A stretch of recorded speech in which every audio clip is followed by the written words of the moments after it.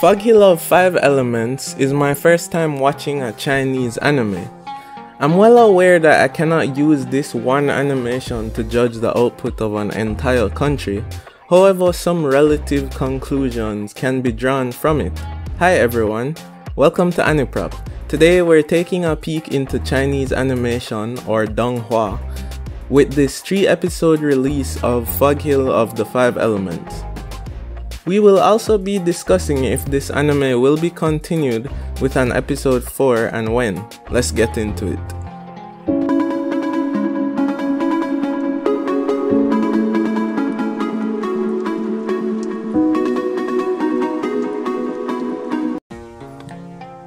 Even though Japan is credited with being the masters of animation in Asia, the first feature length film from the continent originated in China. This animation was Princess Iron Fan, released in 1941. It was made during World War II and adapted a small piece of the legendary novel Journey to the West. It is debated that this film actually inspired anime as we have it now. Following this film, the Japanese Navy commissioned its own feature-length animation film. Momotaro's Divine Sea Warriors, released in 1945. So, at the very least, we could say that China has contributed heavily to the anime we enjoy today. That said, animation releases from China have not received much critical acclaim in recent decades. There are exceptions, however, and Foghill of the Five Elements is one of them. This Donghua has not yet achieved large-scale notoriety, this is outlined by the fact that when I was trying to do research for this video, I realized that there isn't a Wikipedia page for this franchise. I quickly attempted to fix this. Fingers crossed, let's see how it goes after I submit the page to Wikipedia. And done. Help me edit this when it goes up please. So, the first thing you notice when getting into this Donghua is the background art. It's gorgeous, like a traditional Chinese painting. Traditional Chinese paintings can be divided into two schools. There is the Northern School, which resembles that of Western art, where subject matter is painted with realism and accuracy in color and perspective. There's also the Southern School, which evolved from Chinese imperial calligraphy. This prioritizes brushstrokes and has no regard for light sources and perspective. It features a high degree of abstraction where instead of realism, the brushstroke should act as a transfer of the spirit.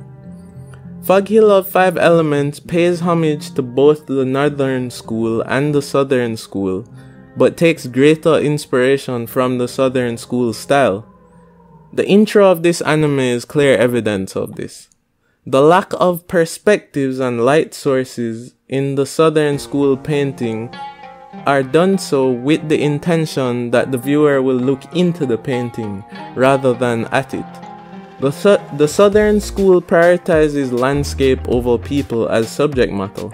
This is on clear display as this Donghua favors these massive landscape shots with tiny people in the mix.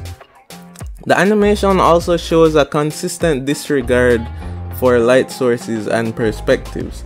Interestingly, another animation technique of the southern style is to depict the same subject matter in a painting from multiple perspectives at the same time in the same painting, using mist or fog to separate the perspectives.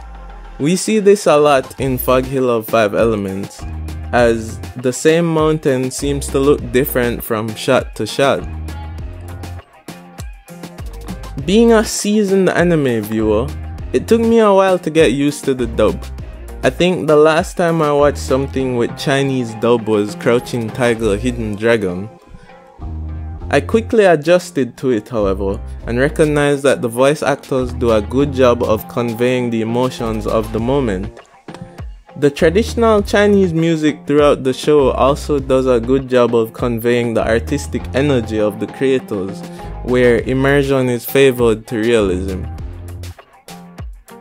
Speaking of the creators, this Donghua, as grandiose as it is, is created by Samsara Animation Studio. who famously made these three episodes with only six full staff members. Production started in 2017, so it took roughly three years to create these three episodes. I won't talk too much about the main selling point of this animation, which is the action, because that is self evident. The action in this show is amazing and really brings the Southern School art style to life in a way I have never seen in the best of Japanese animations. It's clear that the creator Lin Hun went with an extremely small staff to ensure that every single frame of the animation transferred the true spirit of the studio and his vision. It's unfortunate that the episodes number so few and take so long to make, but I totally understand why. Samsara Animation Studio and creator Lin Hun has confirmed that a further 5 episodes will be released, but no timeline has been confirmed for this. Fans estimate that we may see this release in summer 2022. I look forward to more of it then. I'm definitely keeping an eye on this one. Thanks for watching today. Subscribe for more updates on Fog Hill of 5 Elements.